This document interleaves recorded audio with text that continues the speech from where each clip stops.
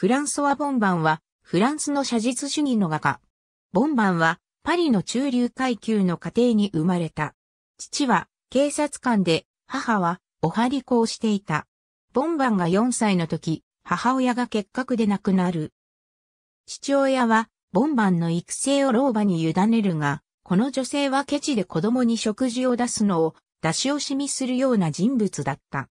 父親はすぐに別の張り子と再婚し、連れ子を家に連れて帰ってきた。そこからさらに子供が9人も生まれ、家庭の経済状況を圧迫した。その上悪いことには、ママ母は彼を虐待し、また十分に食べ物を与えなかったのである。ボンバンが絵を描き始めたのはまだ小さな頃だった。彼の中に眠っていた才能は、一家の友人たる人物によって見出され、ボンバンが11歳の時、その友人から学費を支援してもらって、絵を学ぶことになった。ボンバンは1828年から1830年までパリで絵の学校に通学した。また、この時期に印刷工として弟子入りしている。後にはアカデミー・シュイスで学ぶものの、画家としてはほとんど独学で学んだと言える。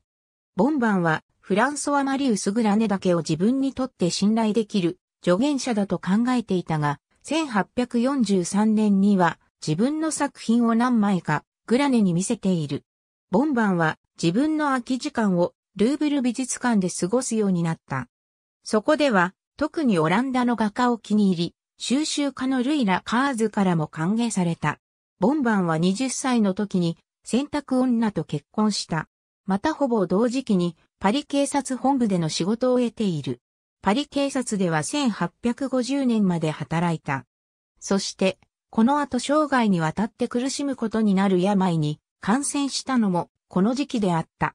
ボンバンは1849年のサロンドパリで絵を3枚展示した。その際、第3位に相当する賞を受賞している。1850年の公式展覧会には、ギュスターブ・クールベと共に出展したが、今回は一流の写実主義画家としての評価を得た。自分が直接知っている貧しい人々の生活を率直に描いたのである。彼の作品は批評家にも大衆にも好評を博した。ボンバンの作品には、クールベと共通する要素も持っていたにもかかわらず、その控えめなが風ゆえに、画期的だとはみなされなかったのだった。1870年に、レジオンドヌール勲章を受賞した。ボンバンが描く主題は、生物画であり、普通の人々の毎日の暮らしであった。その画風は、ピーテル・デ・ホーホや、ジャン・シメオン・シャルダンの作品を彷彿とさせるものであった。